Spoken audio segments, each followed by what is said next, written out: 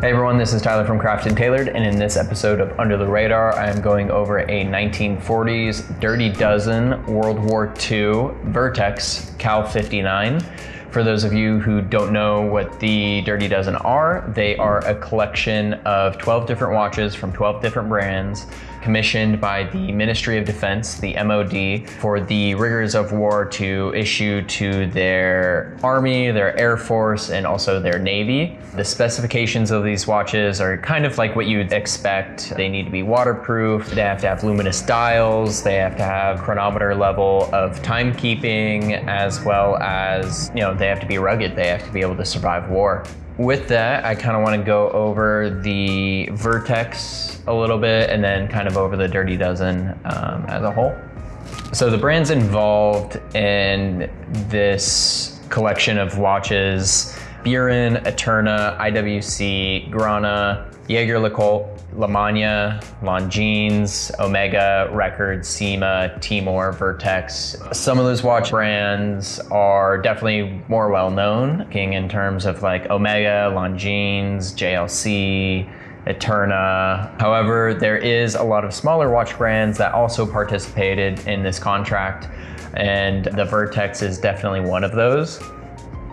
What I think is so cool about the Dirty Dozen is uh, each one kind of has its own flavor, its own sort of take on what the MOD's specifications were for these watches. So they're all a little bit different. If they're all lined up in a row, you'd probably be like, that's 12 of the same watch. So when it comes to these watches, it really takes the type of collector who likes to take the time to sort of dive into each one. I like this one specifically because of its dial presence. It has a little bit longer lugs than you'd expect from some of the other ones and it just has taken on this really cool patina throughout. It's like a brass plated steel, so you can kind of see some of that like gold yellowing sort of coming through the steel plating and it just makes for a very gorgeous appearance on wrist and when inspecting it in your hand. This one has a very clean dial. It has all of its original luminous material, which is pretty hard to find because they're issued watches. So, you know, they would be issued the watch from the military store. They would get brought back the watch. They all had military markings and serial numbers. So the MOD would collect these watches um, after they're done being issued, and they held on to them for a little while. And some of them got reissued post World War II, and they had different dials, or you know, the, there was just different specifications that they had to meet. So why I like this one specifically is because it retains a lot of those original aspects and specifications, which kind of gives you just a good original feeling when you have this watch on. I love the bold Arabic numerals. It's very pilot watch feeling. What's interesting is these watches have fixed lugs, but they were originally issued on canvas straps or pigskin straps. But most of those have worn away since, you know, 1940s. So you primarily see them all on NATO straps and it gives you a really specific sense of feeling when you have to wear a watch on a specific strap. Obviously, you don't feel like you're in the trenches about to shoot some Nazis while having this watch on, but it kind of just gives you that more utilitarian feel. And it's a really cool watch to wear if you know you're doing outdoor activities because it survived the rigors of war back in 1940s. So it should be able to keep up with anything going on today.